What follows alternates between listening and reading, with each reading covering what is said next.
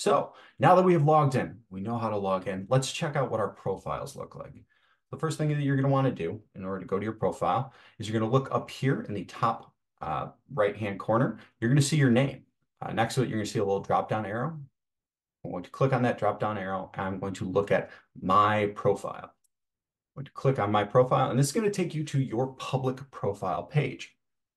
Now, all these profile pages are roughly structured exactly the same way. Um, what you're going to see is any of your public projects or public components. These are tools on the OSF, and we're going to talk about them a little bit in a bit. Um, but only things that are public will be shown on this page.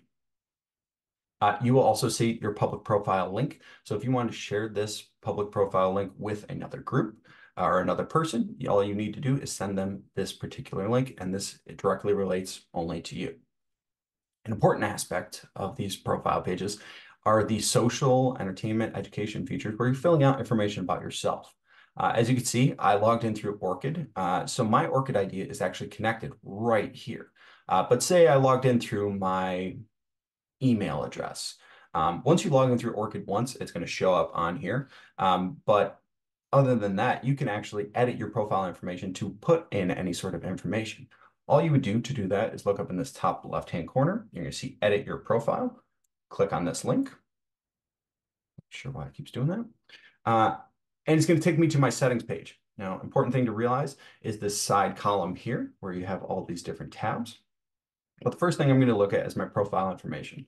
This is where I can change my name. Uh, so say I get married and I have to rename myself. Um, I can change that information here, and that directly relates to uh, all my citations. So make sure that you are looking at the different citation styles and how that looks and how that comes out, um, because that's very important, especially as people are citing your work on the OSF.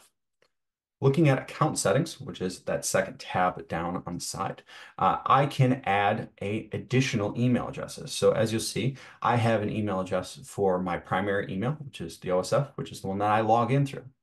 Uh, however, I do have alternate email addresses. This is my Virginia Tech email address. I do have the option over here of making that my primary email address.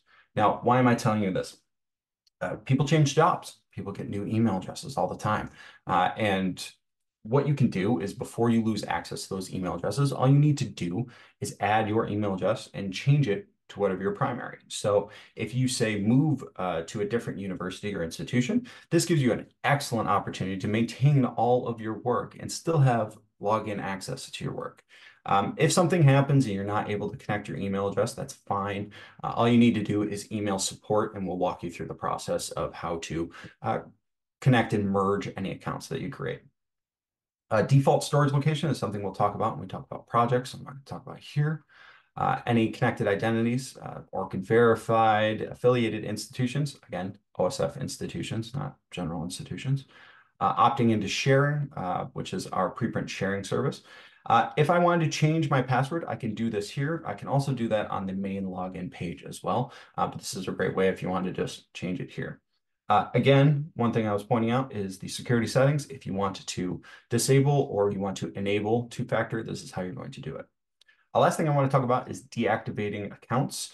Uh, that's down at the bottom of this page. Uh, so if you request a deactivation, what's going to happen is that's going to be a different request depending on who you are, how many things you have on the OSF. Um, and realistically, what that's going to do is it's going to send the request to our support team. Our support team is going to look at your profile, look at all your information, and tell you exactly what's going to happen when you deactivate your account. Sometimes that looks different depending on what uh, tools and things you have created on the OSF. Uh, they're going to ask you to confirm whether that's what you want to do or not. And then from there, we can actually deactivate your account.